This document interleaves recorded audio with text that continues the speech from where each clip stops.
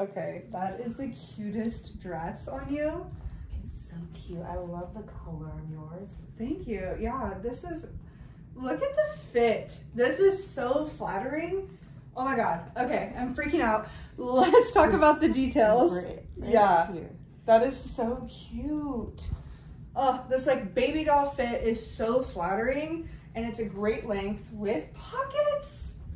Oh, Right, look at that. Yeah. This is like you can throw it on a lazy day and still go out and look totally presentable, totally like you've put some thought into your outfit.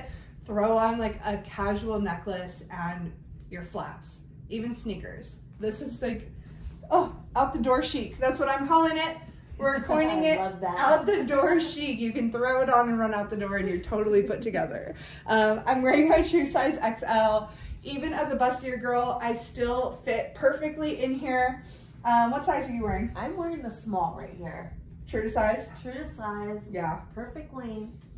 Just awesome. it's so good. So obviously I have the navy. She has the black. These ones are so good. Oh, stock up. This is an everyday essential.